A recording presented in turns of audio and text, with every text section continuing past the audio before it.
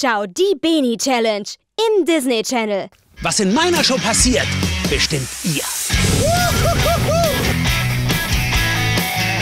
Seid ihr bereit? Na dann los.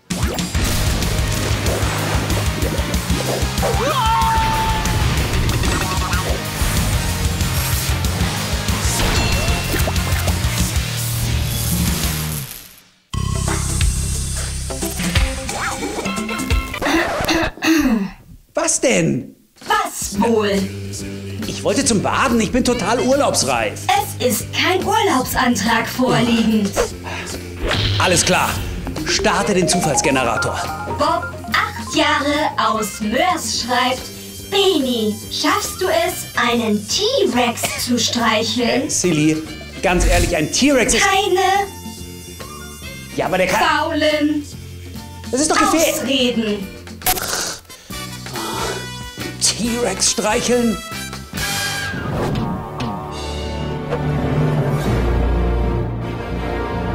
Der Tyrannosaurus Rex. Sowas wie der Superstar unter den Dinos. Mein Weg führt mich als erstes ins Altmühltal. Denn dort bin ich schon mal ein paar Dinosauriern begegnet.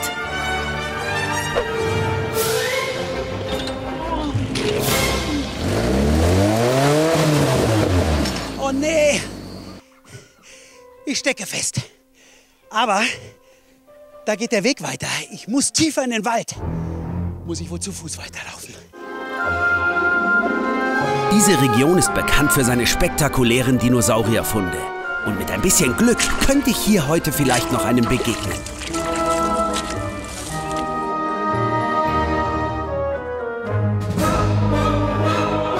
Das gibt's doch nicht. Ist der denn jetzt hin? Zum Glück bewegen die sich hier nicht.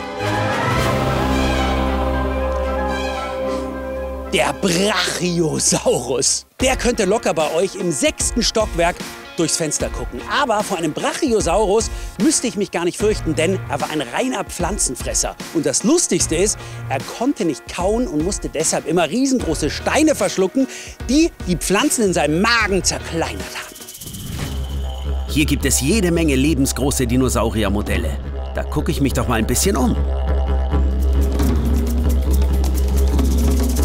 Der Pteranodon galt gar nicht wirklich als Dino, weil er an Land lebte, sondern als Flugechse. Jetzt stellt euch mal vor, sowas würde über euren Köpfen vorbeifliegen. Vielleicht doch nicht so schlecht, dass diese Urzeitriesen vor über 65 Millionen Jahren ausgestorben sind. Macht meine heutige Aufgabe aber nicht gerade leichter. Der Spinosaurus gilt als das größte Raubtier, das jemals an Land gelebt hat. Er war also noch größer als der T-Rex. Und er hat sich vorwiegend von riesengroßen Fischen ernährt. Bisher hat man rund 700 Dinosaurierarten entdeckt. Aber ich brauche eben einen ganz bestimmten.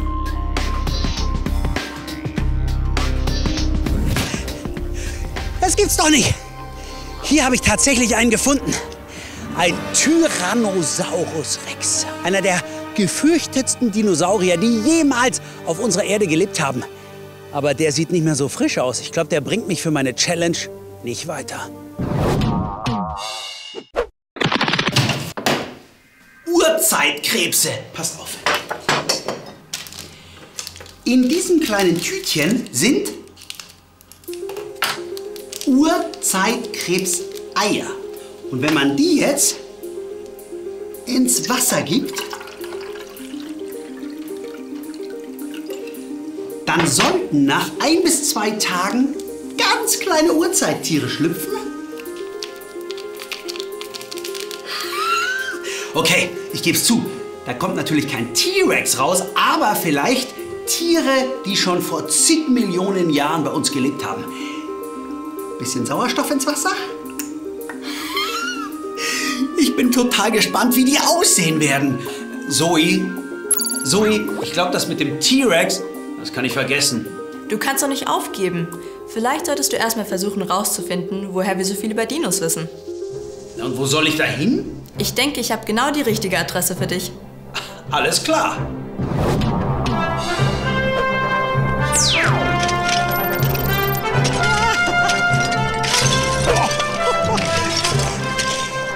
Hier ist nicht nur ein Steinbruch für Sollenhofener Naturstein, guck mal, wie dünn die teilweise sind, sondern es handelt sich hierbei auch um eine der weltberühmtesten Fundstätten für Fossilien. Vielleicht komme ich hier weiter. Geologe und Paläontologe Herr Dr. Martin Röper. Hallo, Herr Röper. Hallo Benny, herzlich willkommen hier in Solnhofen. Vielen Dank, Herr Röper. Meine Challenge lautet, ich soll es schaffen, einen echten T-Rex zu streicheln. Äh, Bin ich dafür eigentlich richtig? Im Grunde genommen ja. Aber da musst du natürlich hingehen und die Steine hier nehmen und wie in einem Buch der Erdgeschichte lesen. Und irgendwann kommt die Seite genau aufgeschlagen, wo die Geschichte auch der Dinosaurier geschrieben ist.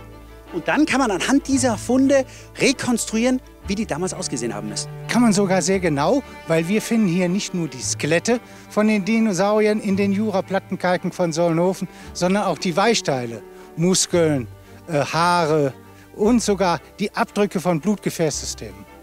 Wurde denn hier schon mal ein Dinosaurier gefunden? Ja, eigentlich einen, an den man gar nicht denkt, nämlich den Archaeopteryx, das berühmteste Fossil der Erde schlechthin. Könnte es denn sein, wenn ich mir ein bisschen Mühe gebe, dass ich hier auch irgendwas finden kann? Ja, da muss ich nur sagen, ran an die Platten, spalten, spalten. Derjenige, der die meisten Platten spaltet, wird auch die meisten Fossilien finden. Okay, dann gebe ich mir mal Mühe. Der Hassan ist seit über 20 Jahren hier tätig und wir beide brechen jetzt erstmal mit dem Bagger den sogenannten Steinstock aus der Erdschicht. Los geht's, Hassan! Ah!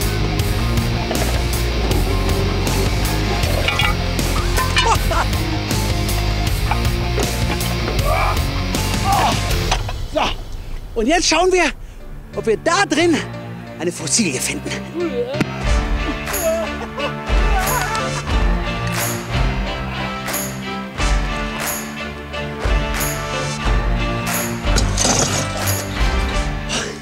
Harte Arbeit, aber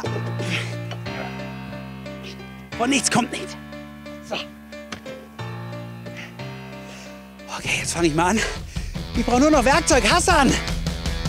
Hammer und Meißel, komm. Hassan, Dankeschön. Mal sehen, was uns diese Gesteinsschichten über unsere Erdgeschichte erzählen können. Viel zu klein.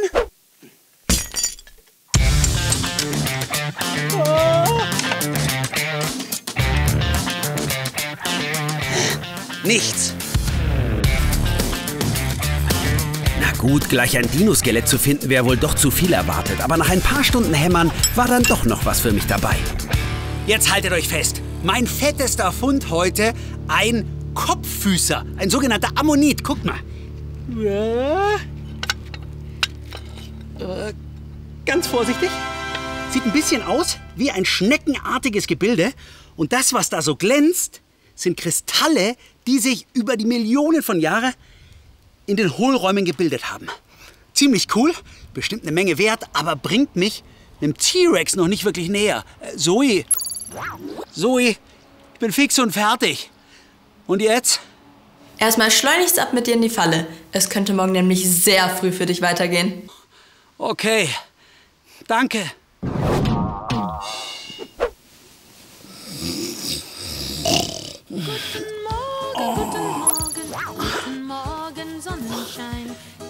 Zoe, was denn? Zack, zack, aufstehen. Es ist mitten in der Nacht. Nix da. Du hast jetzt ein Meeting mit einem Wissenschaftler. Wieso denn so früh? Naja, früh ist Ansichtssache. Los, jetzt raus aus den Federn. Der Professor wartet auf dich. Und wo? Na, in deinem Büro. Okay. Oh, er ist schon da. Dr. Scott Hocknell, guten Morgen. Bei uns hier ist gerade schon Nachmittag. Ich muss euch unbedingt erzählen, wo Scott gerade ist. Er ist nämlich in Australien, in Brisbane. Und jetzt guckt mal, ähm, hier oben seht ihr Europa.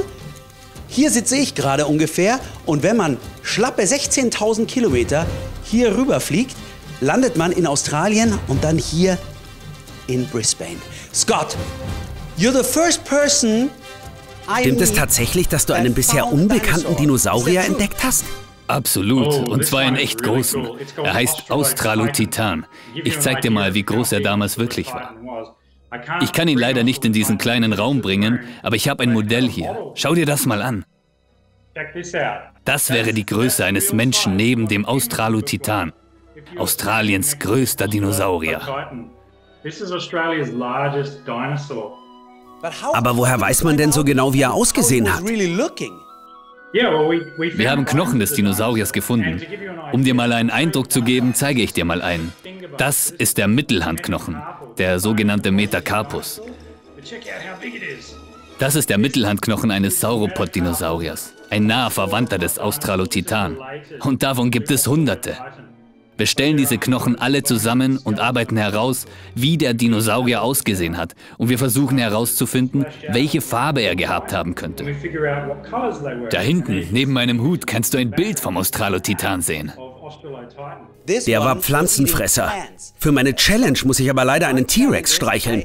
Hinter dir sehe ich ein paar Krallen. Sind die von einem T-Rex?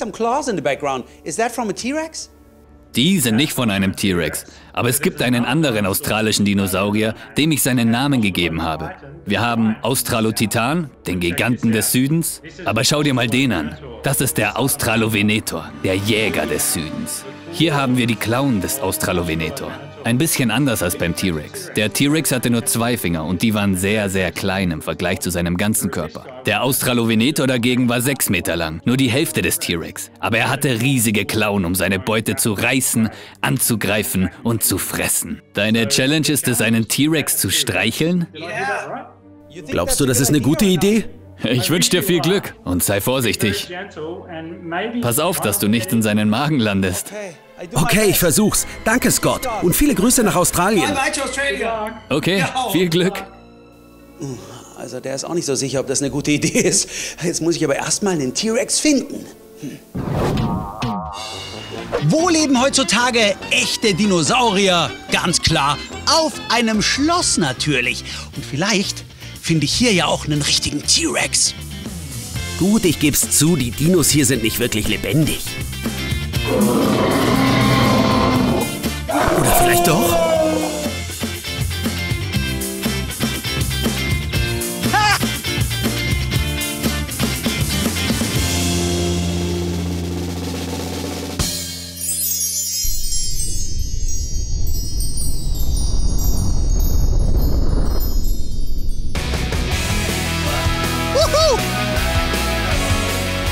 Und schon habe ich einen Tyrannosaurus Rex gestreichelt. Äh, Silly, zählt das? Ein überdeutliches Nein. Habe ich befürchtet. Der ist natürlich nicht echt. Ich brauche irgendjemanden, der mir weiterhelfen kann. Chrissy, der Ranger hier. Chrissy, warte! Entschuldige, Hey Benny, hallo, was machst du hier? ich habe folgende Challenge heute. Pass auf. Ich soll es schaffen, einen T-Rex zu streicheln. Und ich dachte, vielleicht geht das hier, aber ich glaube, ich habe ein kleines Problem. Benny, ich sag dir eins, du hast ein Riesenproblem. T-Rex gibt's eigentlich keine wirklichen hier, aber unser Veli, das ist ein Problem. Wer ist denn Weli? Ah, Entschuldige, Veli, das ist unser Velociraptor, vier Meter lang, solche Augen, messerscharfe Zähne und 50 km/h schnell. Und der ist wirklich gefährlich. Du willst mir sagen, dass hier ein Velociraptor rumläuft? Ja, äh, tut mir leid, der ist aus dem Gehege ausgebrochen. Und ich bin dabei, nach ihm zu suchen und ihn einzufangen. Und was macht er, wenn der uns erwischt? Also, meinen Geruch kennt er, nur du bist für ihn komplett neu. Deinen Geruch kennt er nicht. Und für ihn bist du gutes Futter. Oh, ich glaube, da kommt er. Was mache ich jetzt? Ich hau ab. Ruhig, ruhig, bleib stehen. Ja, nicht weglaufen. Nein, für den bist du Futter. Hey, ho, ho, Weli, Weli, ruhig, ruhig,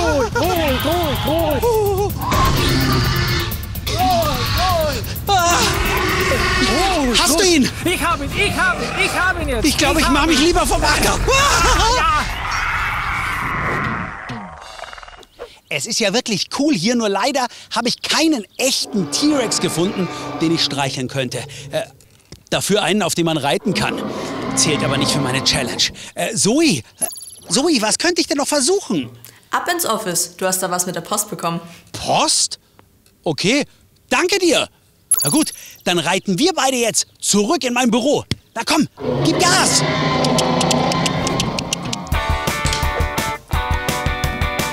Hä? Was ist denn hier los? Wie cool! Was mache ich damit? Oh. Eine Virtual Reality Brille. Ähm, so nah wirst du einem T-Rex nie wieder kommen. Aber Vorsicht, er ist hungrig. Viel Spaß. Oh, wow.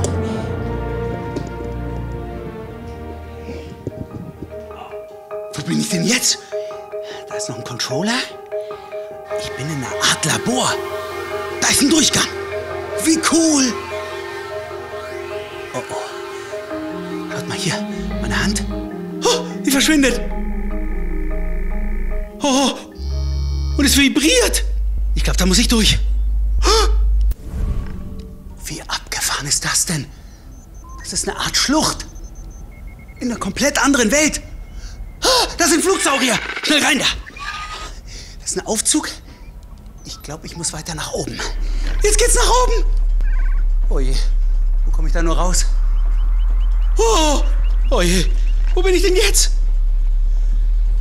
Oh Mann, ist das hoch. Ah, da kommt jemand. Das ist ein T-Rex. Kommt genau auf mich zu. Es hieß, er ist hungrig. Äh, ich tu dir nichts. Ah. Uah. Oh, der brüllt mich an. Der hat Hunger. Hier, schau mal. Leckerer Dinosalat.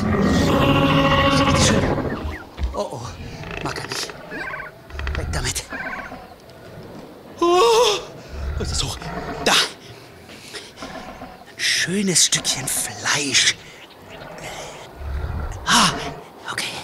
Das ist schon eher was für einen Dino wie den Tyrannosaurus Rex. Riech mal. Oh, ich glaube, das mag er. Vorsichtig. Ah, Schaut mir die Zähne. Ah. Und? Oh. Das gibt's doch nicht. Ich habe echt einen T-Rex gefüttert. Vielleicht kann ich ihn sogar streicheln. Beni, Was denn, Zoe? das zählt nicht. Ich bin mitten im Spiel. Dein T-Rex gibt's ja nur in einer virtuellen Welt. Ja, hast ja recht. Und wo soll ich hin? Zu einem echten T-Rex natürlich. Alles klar. Für die meisten Dinosaurier-Skelette, die man in Museen sieht, werden die Knochen aus Kunstharz nachgebildet. Guck mal, das hier ist der Schädel eines T-Rex. Kunstharz, aber haltet euch fest. Hier, hinter dem Auge, befindet sich tatsächlich ein echter, versteinerter T-Rex-Knochen. Das ist dieses kleine dunkle Teil hier. Und wenn man jetzt immer so weiterbauen würde, dann sieht das Ganze am Ende so aus.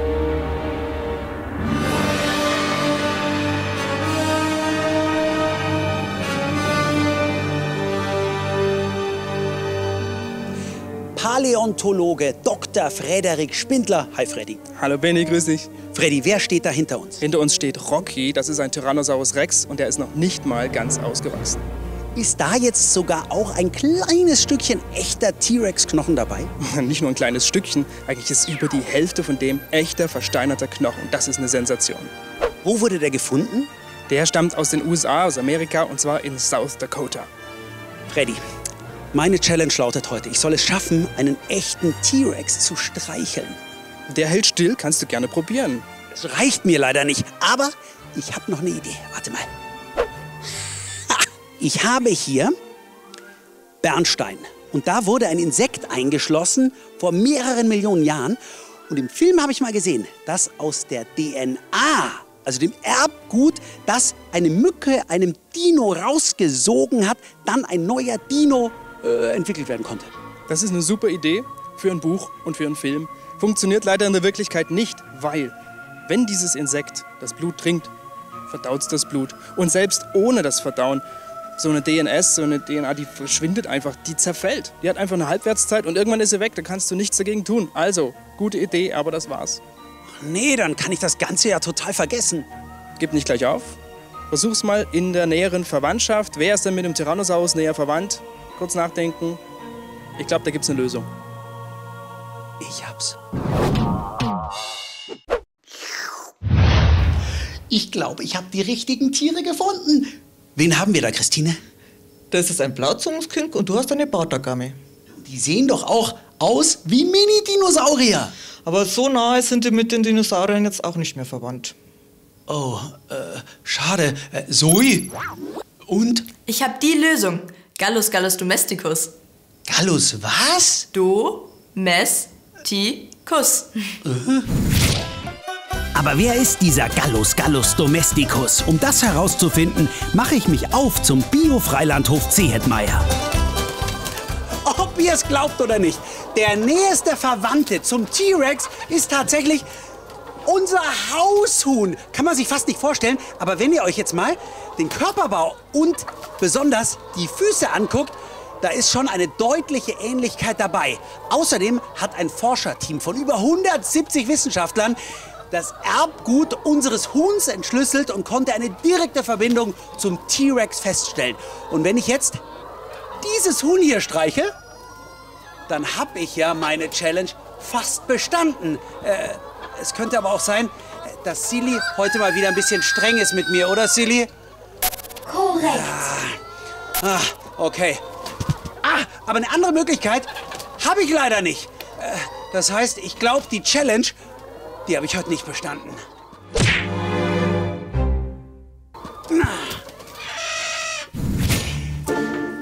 Mal gucken, ob...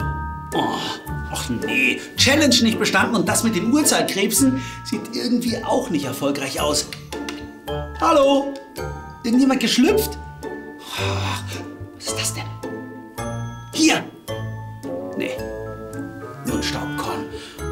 Jetzt kann nur noch eine gute Bewertung von Silly meine Laune retten. Silly, wie sieht's aus? Drei Punkte für Kreativität, jedoch für Mut und Action jeweils nur einen Punkt. Ach komm schon. Das heißt, Du ahnst es. und was soll ich tun? Du darfst eine tragende Rolle übernehmen. Hä? Bin da. Wer noch? Ja, jetzt. Ob ihr es glaubt oder nicht, ich darf jetzt hier gleich die Dino-Show übernehmen mit diesem Spinosaurus. Junge, bist du schwer. Ja, ist ja gut. Oh, und Mundgeruch. Oh. So, und ihr überlegt euch schon mal eine neue Challenge-Idee für mich und schickt sie mir an beni at disneychannel.de. Bis zum nächsten Mal. Ciao.